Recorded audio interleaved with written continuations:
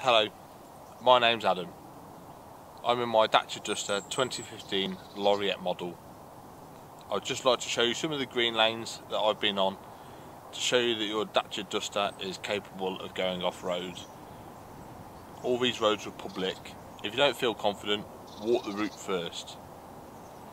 Walk the route, see if you feel you're confident enough doing it, and go and do it. There's always risks involved. I hope you enjoy them. Like I say, it's just showing you some of the places that I've been, so perhaps you can come to the same place that I've been and do it, knowing that it's been tried and tested and a duster before. If you don't feel confident, don't do it. All in all, stay safe, but enjoy the freedom of going off-road legally. Thank you for watching the video.